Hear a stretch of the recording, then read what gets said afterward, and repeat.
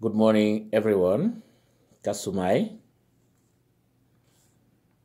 In the name of the Father, and of the Son, and of the Holy Spirit, Amen. The Lord be with you, and with your spirit. Brothers and sisters, let us acknowledge our sins and so prepare ourselves to celebrate the sacred mysteries. Let us pray. O God, you have commanded us to listen your beloved Son. Be pleased, we pray, to nourish unnaturally by your word, that with spiritual sign made pure, we may rejoice to behold your glory through our Lord Jesus Christ, your Son, who live and reign with you in the unity of the Holy Spirit, one God, forever and ever. Amen.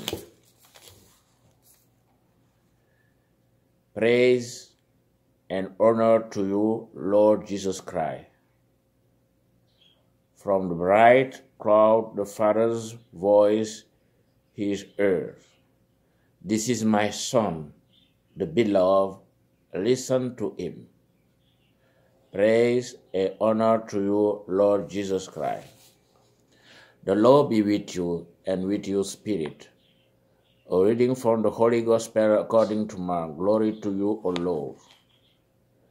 Jesus took with him Peter and James and John and led them up a high mountain apart by themselves. And he was transfigured before them, and his clothes became dazzling white, such as no one on earth could bless them. And there appeared to them Elijah and Moses, who are talking with Jesus. Then Peter said to Jesus, Rabbi, it is good for us to be here. Let us make three darings one for you, one for Moses, and one for Elijah. Peter did not know what to say, for they were terrified.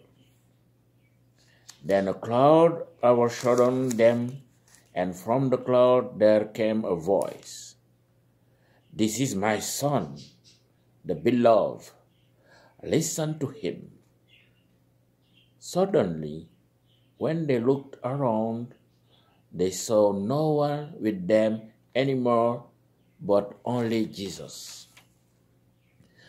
As they were coming down the mountain, he ordered them to tell no one about what they had seen until after the Son of Man had risen from the dead. So they kept the matter to themselves, questioning what his rising from the dead could mean. The Gospel of the Lord. Praise to you, Lord Jesus. Brothers and sisters in Jesus Christ, the period of Lent is a preparation that aims to allow us to celebrate with fervor the Paschal mystery of Jesus. There is therefore a need to, to know Christ in his double mystery of suffering and glory. So, among those called to the first follow him, Jesus chose three privileged people Peter, James, and John. To them, after the Master's retreat in the desert, where he was tempted by the force of evil and his demons, he gives them the opportunity to get to know him better by letting himself by by letting himself be transfigured on, on the mountain of Tabor. He manifests in all his glorious divinity. It is a true revelation of his deep identity as the Son of God, the beloved one of the Father above. This all the more important after the misunderstood announcement by his people about his passion and resurrection from the dead. This announcement was very unsettling for the disciples and apostles. I never like that of the transfiguration will be become, will be welcome in order to better live the passion that is approaching on its way to Jerusalem. The transfiguration is supposed to serve positively as a stabilizing element for their faith. It was very difficult. The history of passion will teach us the opposite abandonment, denial, and flight, discouragement. John and the Virgin Mary and some women make the exception. The transfiguration is an anticipated glorification. Jesus manifests himself in his glory even before his sacrifice. He prepares the trio for his recently announced passion in order to prepare them to overcome the scandal of the cross by showing them his glory by anticipation. The Transfiguration helps to interpret the resurrection of Jesus. It introduces us to the deep knowledge of the Paschal mystery. It is like unlight of their initiation, our initiation, an experience which should make them witness of hope and men warn in the face of the trial to come, passion, persecution, rejection, etc. So, we could understand the one who will suffer is the Son of God and will be glorified as the Son of God. This transformation is what baptism in Jesus Christ make of every disciple. We will be transformed, transfigured in the risen Christ in his, in his glory. The scope of life after death is credible by the appearance of Moses and Elijah, who died century before the incarnation of Jesus. Better yet, the three apostles heard the voice of the Father designating their master as his beloved son. This is my beloved son. Listen to him. Including the importance of such a visual experience in the divine world, Peter wishes to perpetuate the moment of happiness. It is very wonderful.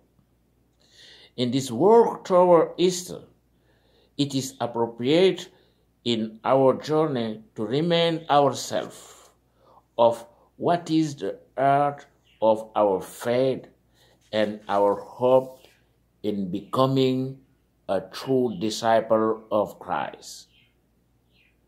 To be a believer and faithful friend of God is what the story of Abraham teaches us in this first reading. To be a believer is to follow the wishes of God which give we give access to the wonderful salvation. It is the blessing and the promise of a nation that is made possible. Our commitment to following Christ in this time of Lent must validate our ticket to our future transfiguration, transformation into the risen one. The true apostles are attached to this world that, that day and wonder what it means to rise from the dead.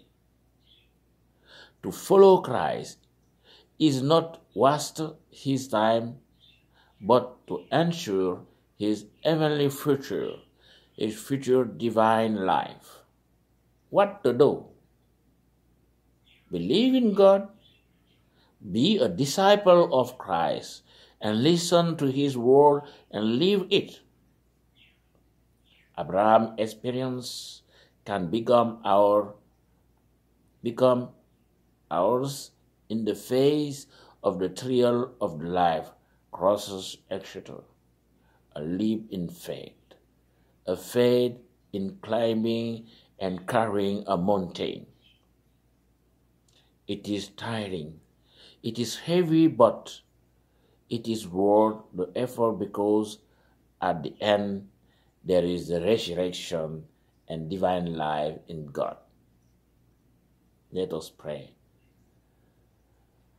Lord Jesus Christ, with a strengthening step in the company of Peter, James, and John, we climb, we climb the mountain with you where you make yourself known in your deep divinity, in your celestial glory. Open our eyes to see the path of life and let us discover the voice of the Father above. When everything becomes heavy in our daily life, transform us into enlightened and transfigured by your Paschal light. Amen. May Almighty God bless you, the Father, the Son, and the Holy Spirit. Have a good Sunday and a good journey toward Easter.